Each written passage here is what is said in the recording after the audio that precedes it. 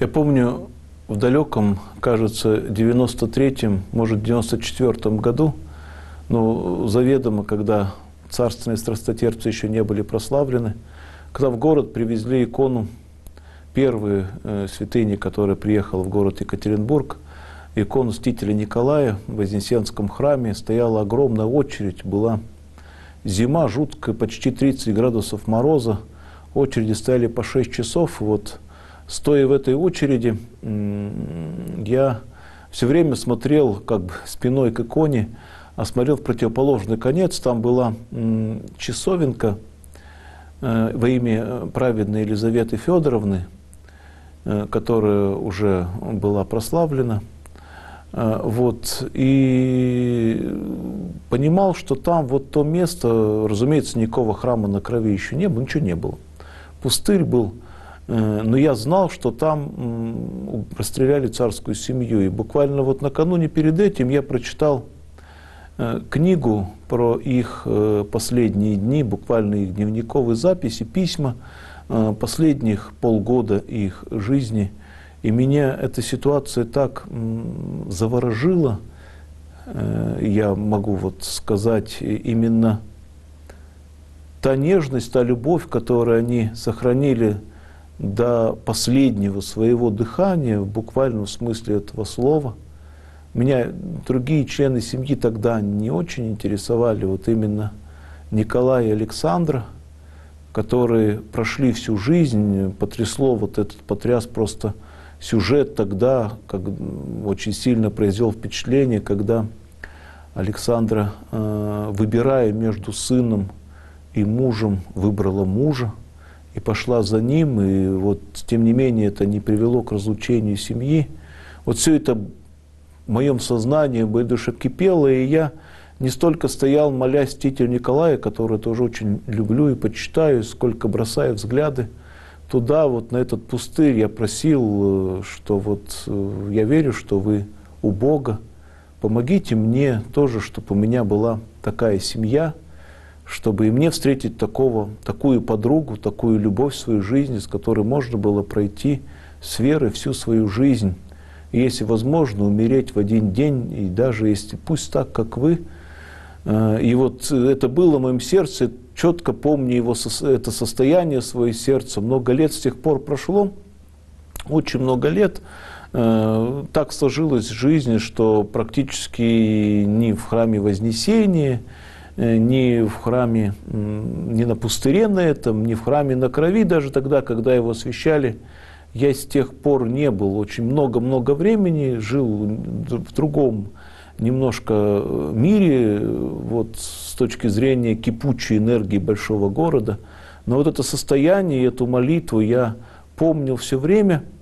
И вот через какое-то время, уже э, где-то э, в 2007 э, году Э, вот э, чуть-чуть на раньше начали организовываться крестные ходы, но где-то в 2007 году я узнал о том, что проходят крестные ходы, царские крестные ходы. Э, узнал потому, что священник, с которым я был, уехал на этот крестный ход, то ли такая была рекомендация от священноначалия, то ли по своей воле, я еще не очень помню, я помню, что я не поехал. Не поехал, мне было это неинтересно в то время, крестный ход ходить надо было вот в поселке там делать, в храм без службы не оставлять. И я не сходил на этот крестный ход. И сердце мое болело. То есть я до этого не знал о том, что есть такие крестные ходы. А потом узнал и не пошел.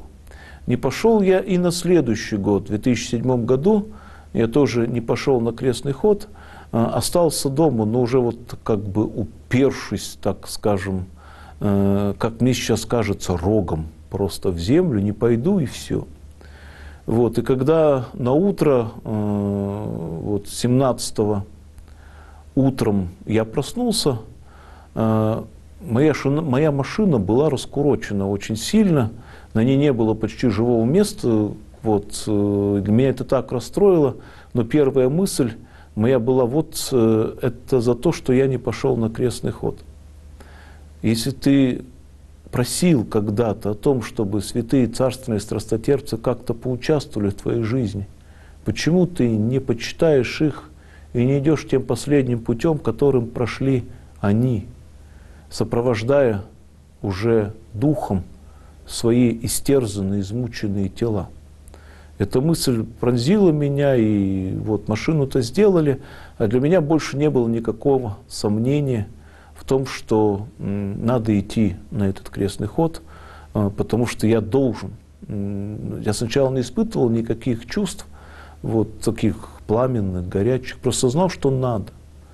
И вот когда я пошел на крестный ход, это было э, для меня очень удивительное действие э, крестного хода. Я очень много понял, увидел, и с моим сердцем что-то произошло. Оно стало иначе относиться к людям. Я, собственно, и не ходил в крестные хода, потому что подозревал, что увижу там очень много разных людей, э, духовное устроение, идеи, переживания которых мне будут э, глубоко чуждыми, глубоко неблизкими. И вот когда я попал в струю этого православного народа, действительно разного, я ощутил к ним совсем иное чувство.